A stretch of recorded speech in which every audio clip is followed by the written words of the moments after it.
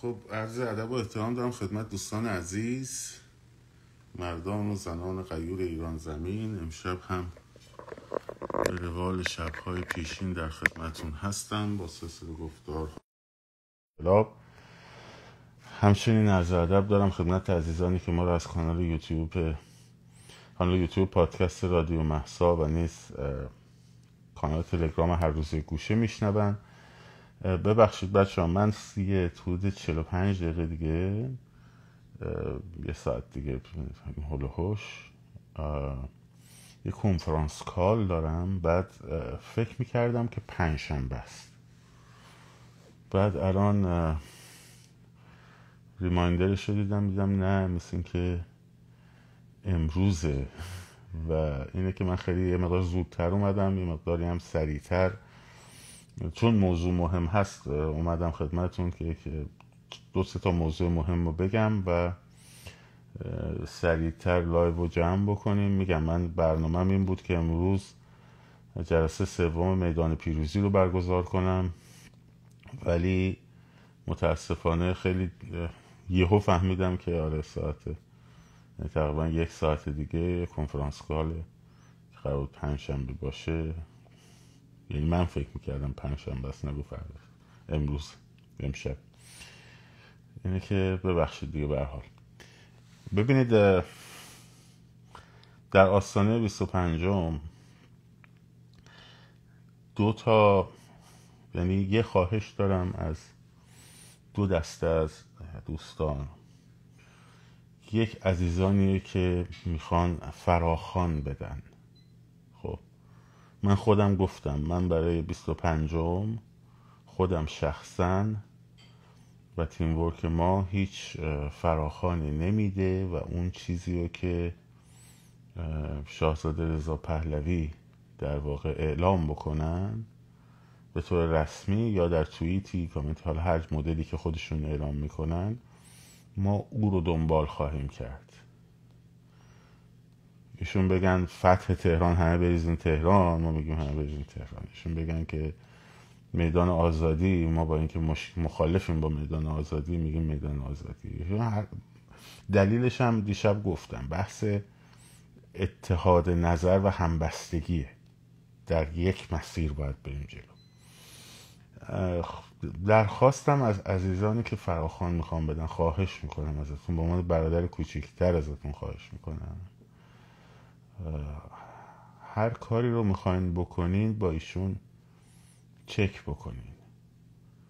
و حالا از طریق دایرکت از طریق ایمیل از طریق در واقع هر مسیر دیگه.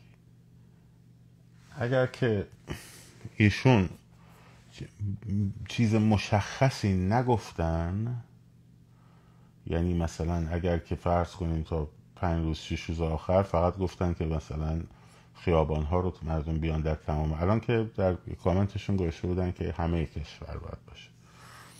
اون موقع باید با هم هماهنگ باشیم که یک حرکتی رو سازماندهی کنیم که چند صدا نشه. خب و این مهمه. ولی فعلا عزیزانی که روی فراخانی برای 25 دارن کار می‌کنن بزرگواری کنن. خواهش من به عنوان برادر کوچیکترشون بپذیرن. یه چک با شاهزاده رضا پهلوی این قضیه رو بکنن. این این مهمه. حالا اونایی که اصلا شاهزاده رو قبول ندارن و نمی‌دونم این داستان ها ما با اون سازمان مریم خانوم و رفقاشون کار نداریم. یا با گروه های چپ و این داستان ها کار نداریم. و اونایی که مدعی هستن که طرفدار سیستم پادشاهی هستن اونایی که در واقع ملیگرا هستن اینها.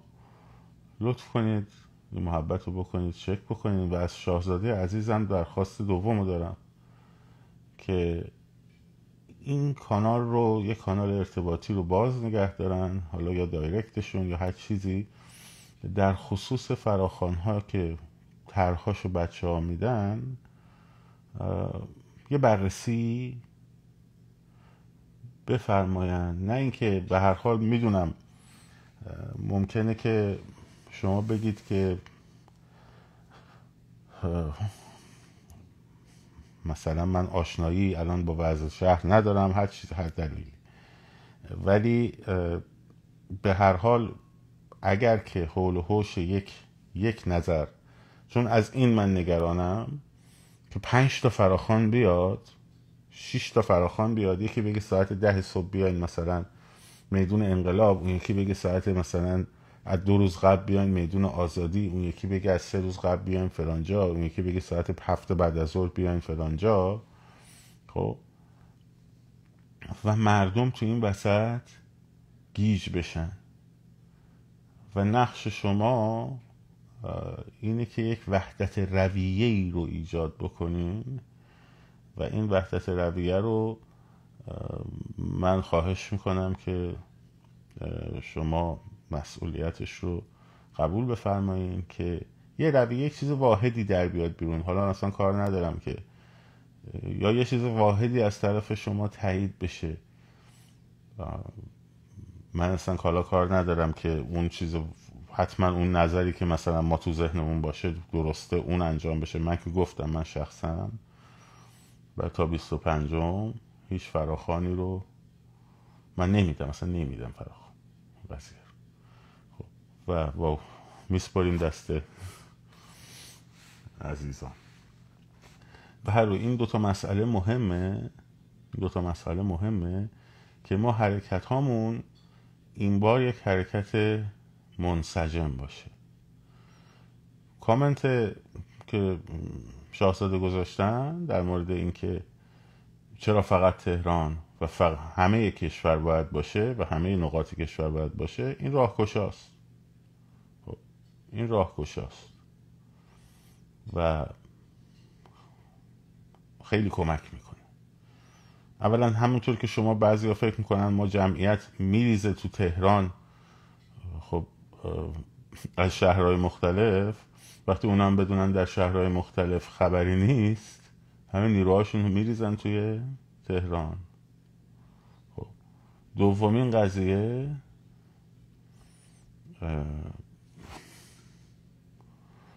اینه که وقتی که ما نمی‌دونیم یعنی در واقع ما میایم میگیم همه بیاین تهران اون وقت ظرفیت شهرهای بزرگ رو از دست دادیم.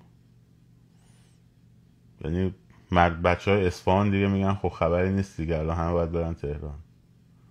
بچه های شیراز میگن خب دیگه خبری نیست دیگه همه باید برن تهران. ما که نمی‌تونیم بریم تهران و خیلی هاشون نمی‌تونن بیان. شما در, در نظر بگیرید که بلاک شد. شما در نظر بگیرید که شما در نظر بگیرید که ما چه درصدی در هر شهر از جوانان پایکاری داریم که بتونن که مثلا از شهرهای مثل تبریز و مشهد و اینا را بیفتن بیان تهران. و چند درصد ما به اصطلاح قش رو داریم کارمندن کاسبن که اینا میان در حالت طبیعی. ولی اگه بهشون بگی پاشو بیا تهران خب اینا خیلی هاشون ممکنه نیان. و اون ظرفیت رو ما باید استفاده کنیم در تمام نقاط کشور. حالا بستن راه های ورودی به کنار. حالا یه اکانت خانم فلانی که معلوم نیست عکسش کیه خودش کیه فلان بسا میگه مش سایبری اومدن گفتن راه ها رو میبنده اکانت بی نام و نشان با آدمای با نام و نشان میگه سایبری این خیلی باحاله. اینا دیگه نوبرن واقعا شاهکارن. خب؟ اینه به هر روی.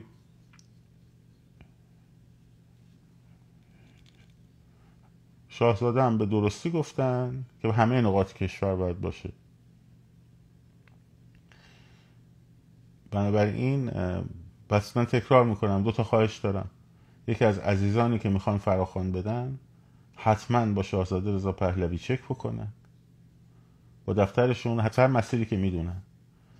و خواهش دوم هم از جناب شاهزاده هست که مسئولیت هماهنگی این ماجرا رو قبول بفرمایند که یک صدای واحد از ملیگرایان بحث اصلا هم پادشاهی خواه و جمهوری خواه و اینا نیست.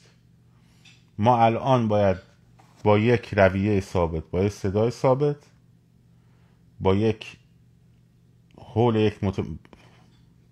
جریان ثابت. این رژیم رو بیاریم پایین. بعدش میریم پای صندوق رای اصلا قبول ندارم حرف جناب آقای افشاری رو علی افشاری رو که گفتن اگه ایشون بشه رئیس شورای انقلاب یا رئیس دولت گذار دیگه مملکت بشه پادشاهی. اولا ایشون اگر این بنیش اینه که یه کاری کنیم ایشون موفق نشه در سرنگون کردن جمهوری اسلامی. خب؟ یعنی چی؟ بس کی ما موفق شیم مثلا. ایشون نشه ما موفق شیم بعد ما چه فرقی می‌کنه؟ اون وقت چه فرقی می‌کنه واقعا؟ یعنی مثلا بگیم که مثلا با احترام دارم از می‌کنم خدمت جناب آقای افشاری. شما موفق شی ولی ایشون موفق نشه. بعد شما هم نصف راه جمهوری رفتی با این حساب دیگه. خب خب این حرف غلطه. مثل اینکه مردم یه اقبال یه دسته از مردم یه گروهی از مردم به یک فرد اقبال کردن خب؟ و هیچ فرد دیگری نیستش که به اون میزان من نمی‌خوام بگم اون میزان 90 درصد جامعه است. اصلا شما بگو 20 درصد جامعه است 30 درصد جامعه است. خب؟ به شاهزاده رضا پهلوی اقبال کرده. ها؟ ما چهره ای رو نداریم که سی درصد جامعه بهش اقبال کرده باشه. نداریم حتی که ده درصد جامعه بهش اقبال کرده باشه. نداریم حتی که پنج درصد جامعه بهش اقبال کرده باشه. خب؟ از کجا میگی نداریم؟ از نظرسنجی مؤسسه گمان آقای امار ملکی که از دوستان شما هم هست. خط خمفکران سیستم شما هم هست دیگه. خب؟ داره میگه دیگه.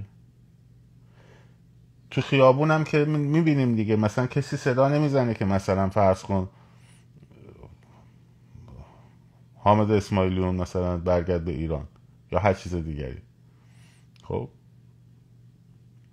بنابراین ما این ظرفیت رو داریم. این ظرفیته الان باید جمع بشه دور همین. هممون جمع بشیم دور همین. بعد شما میگید مثلا این خب میریم پای صندوق رای میگید اگه ایشون بیاد چه تضمینی داره که از صندوق رای فلانش خب شما بیاد چه تضمینی هست که صندوق رای شما ازش بیرون نیاد؟ این طبیعیه که وقتی یک نفر انقلابی رو هدایت می‌کنه چوبش رو می‌خوره زحمتش رو می‌کشه فلان بسا مردم بهش اقبال می‌کنه. ولی مردم رو اگر زیشور تشخیص میدیم خب نه اینکه فکر کنیم مثل به سنت اسلامی که پیغمبرها رو چوپان می‌دید و مردم رو گوسفندان یا به سنت مسیحی گوسفندان خدا خب؟ خب مردم میان رأی میدن. الان میفرمایید خانم فاطمه سپهری. خب خانم فاطمه سپهری توی زندان هستن. خب. توی زندان ما چجوری بخوایم ازشون کمک بگیریم؟ برای وحدت رویه داستان 25 ایران آزاد می‌کنیم میریم پای صندوق رأی. کسی تضمینش چیه؟ کسی خواست زیر صندوق رأی بزنه؟ محکم جلوش وای میستیم. خب؟ مگه سر کلیشه مبتزل کی وایستاد شما که کم وای نستادین مثل من که. کدوم کی وایستاد من وایستادم دیگه. محکمم وایستادم چوبش هم خوردم اشکالی هم نداره. بیشتر از چوب خوردنم چوب زدم. به گفتمانه. خب کسی بخواد بزنه زیر میز دموکراسی؟ خب ما وای میستیم. مردم هم وای میستن. مردم هم وای میستن. به این به نفع خود پادشاهی خواه هم هست که از صندوق رأی عبور کنن. چون خط فکر و اندیشه که از صندوق رأی عبور نکنه وزنش معلوم نمیشه. وقتی وزنش معلوم نشه طرفداراش فکر می‌کنن 90 درصد جامعن مخالفاش هم فکر می‌کنن 90 درصد جامعه و حقشون خورده شده. ولی این تعارضه بین صد مثل علی پروین بود. می‌گفت الحمدلله تیم 20 درصد آماده است 80 درصد تو اردو آماده میشه 35 درصد آیندهش هم انشالله تو مسابقات. 180 خب، درصد جامعه شروع می‌کنن با هم جنگیدن. بنابراین به نفع پادشاهی خواهم هستش که از صندوق رأی بیان بیرون. یه سرتیفیکیشنه یه مهره یه امضاست. که میگه آقا تایید شد.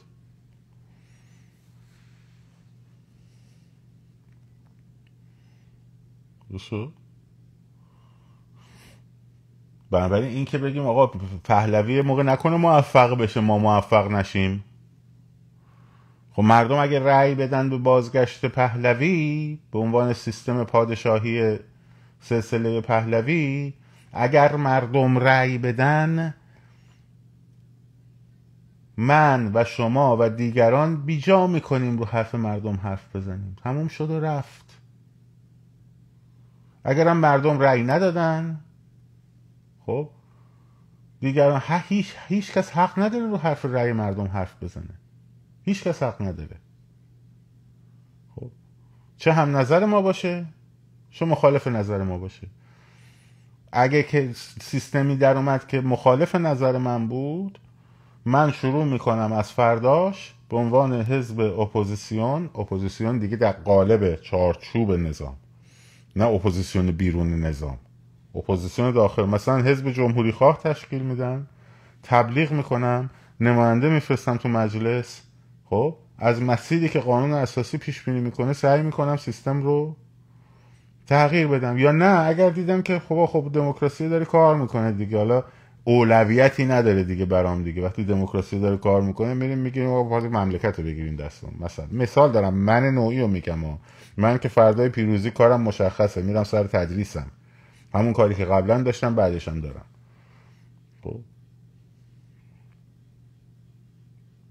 این ماجرا. بنابراین الان اگر دل در گروه میهن داریم هممون از این ظرفیت استفاده کنیم خب متحد بشیم یه صدا بیاد بیرون. یا اینکه نه می‌خوایم بکشیم کنار خیلی خوب بکشیم کنار. یعنی مثلا در حوزه خیابون و نمی‌دونم مبارزه و اینا وارد نمیشی. ولی مبارزه رو تمرکزش رو بذارید رو جمهوری اسلامی. بذارید که بچه هایی که دارن کار می‌کنن و می‌خوان وارد خیابون بشن خب گیج و ویجشون نکنین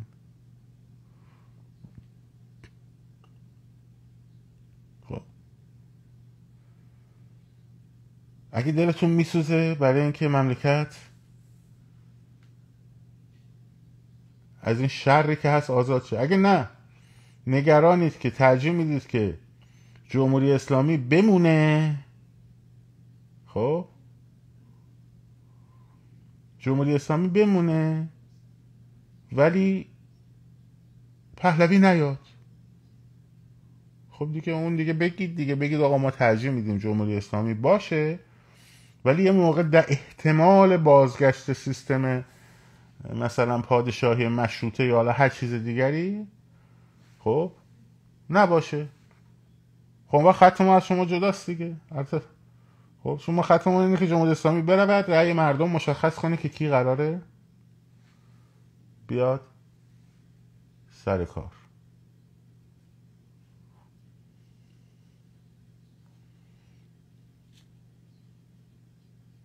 خب.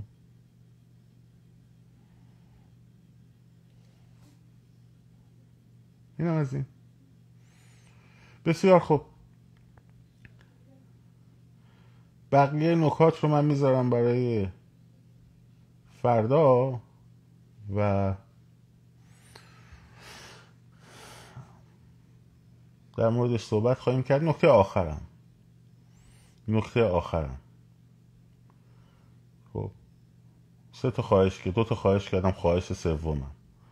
دوستان پادشاهی خواه نمی‌خواین دست از سره این نمی‌خواین حاشیه درست نکنین این دم چیزا. همتون نمیگم ها امروز رفتیم توی کلاب خاصی ببینیم چه خبره.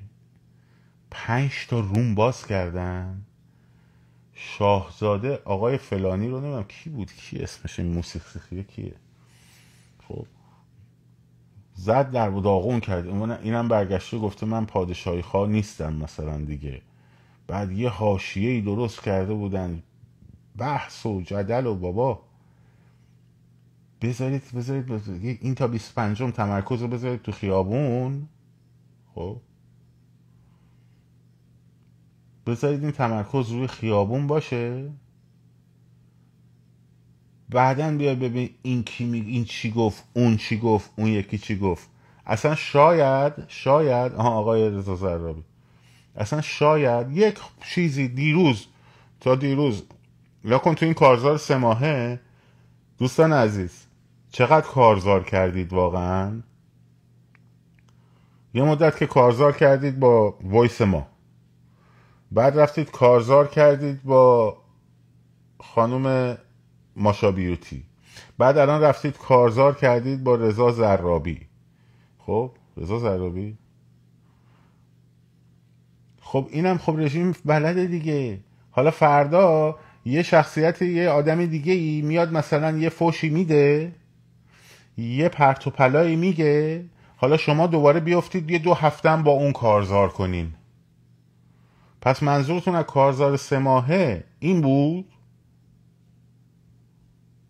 ها؟ واقعا این بود؟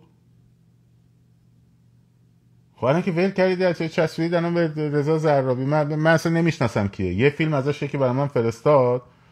خب این شروع کرده و حرف زدن. اسرائیل قراره به این پول بده اون یکی قراره به این پول بده این یکی قراره فلان کنه. من گفتم بابا این چی میگه چی میگه بابا من تنها اپوزیسیون رسمی ایرانم. خب، فهمیدم که حالا حالا anyway it's not a big deal.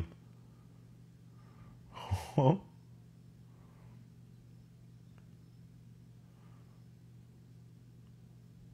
همون موقع من دیدم یه کمی خجسته می‌زنه گفتم اول کن. مثلا دنبالش هم نکن. خب. ساعت شما بگه بگه. کاری هم نداره مثلا الان هم نمی‌دونم چی گفته ها. اصلا نمی‌دونم چی گفته. فقط رفتم توی کلاب هاست دیدم شروع کردن دوباره. کارزار سه ماهه با نفر بعدی. خب حالا فردا اومدیم مثلا یه نفر اومد یه مثلا چه می‌دونم یه آدم دیگه ای اومد مثلا یه حرفی هم به شاهزاده دیگه یکی دیگه یکی هم اون زد. دوره می‌خوایم ویدیو بسازین روم درست کنین فلان کنین خب بذار کنار بذار کنار بذار تا 25 بعد 25 برید کارزاراتون رو بذارین جمهوری اسلامی بندازین کنار. خب؟ متمرکز باشین روی این لامصب. بعد شروع کنیم دوباره. 16 ساعت رومه بوده 16 ساعت. من دیشب بلند شدم من خواب برم برم سر کار. بوده؟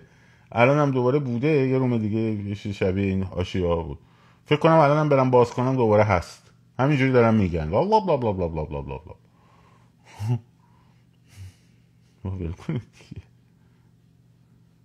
خب اینا حواس پرت می‌کنه اینا ذهنا رو می‌بره. اینا میفهم این ببینه چی بوده قضیه؟ خب بعد میرم می‌بینم مثلا چی بوده قضیه؟ همین که می‌بینم چی بوده قضیه بعد اون وقت شروع می‌کنم ببینم نه حق با این بوده یا حق با اون نبوده. بعد شروع می‌کنم بحث کردن. بعد یه کمی وسط پیدا میشه یه افشاگری هم پیدا کنه از این دنزه بیرون. خب دارم بازیتون میدن دیگه قربونتون برم. دارم بازیتون میدن. فهمیدن رو این چیزا حساسین دارن بازیتون میدن. حالا مثلا یکی پیدا بشه یه ایشون نه حالا مثلا یا یه خجست پلاسی پیدا بشه مثلا یه حرفی بزنه همه شما باید برین سراغ روم بزنین یا مثلا نمی‌دونم فضای مجازی رو پر کنین. خجست پلاس ضد پهلوی نمی‌دونم فلان به سال نفع. بابا ولی می‌کنیم کار برسیم بابا. سر نامزدی خانم ایمان پهلوی.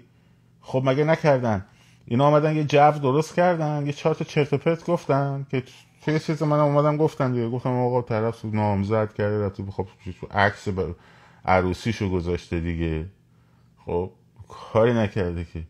پشت سر هم یه نه دو نفر اومد چرت و پرت گفت. خب پنجاه تا جواب اومد. و یه هفته هم کارزار سه ماهه متمرکز شد روی خزعلی و نمی‌دونم فلان و بسار. خب فردا دوره خزعلی بلند میشه یه چرت و پرت دیگه ای میگه. خب؟ حالا شما شروع می‌کنید دوباره. خب؟ یکم دندون رو جیگر بذارین. یکم دندون رو جیگر بذارین. بعد ساعت 6 صبح تهران کی لایو میره مریم جونت. خب؟ منتها لایو خصوصی میره خواهر مریم ساعت سه صبح شروع می‌کنه لایو خصوصی براتون میده. آره. برو کمپ اشرفت. خب اینم از این.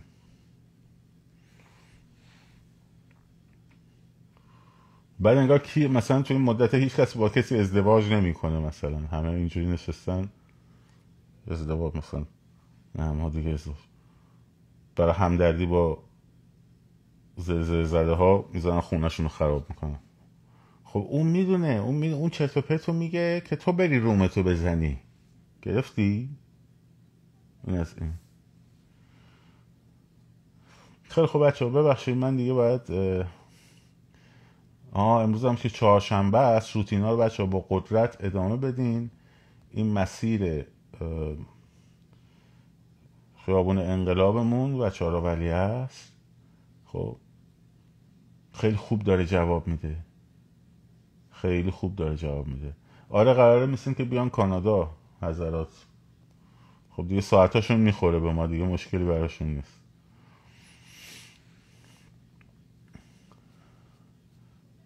آره.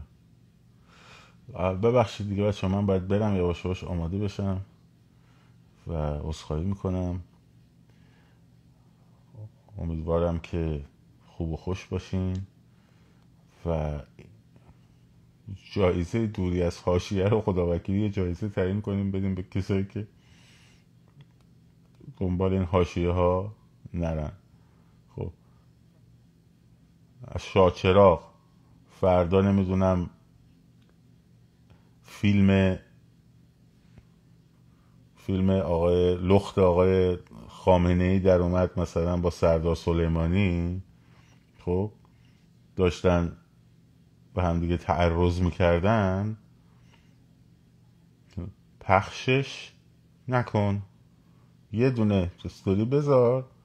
بگو ما گفته بودیم این رهبرمون اینجوریه این رهبر اینجوریه. خب؟ یا حالا هر چیزی. حالا بگذاریم.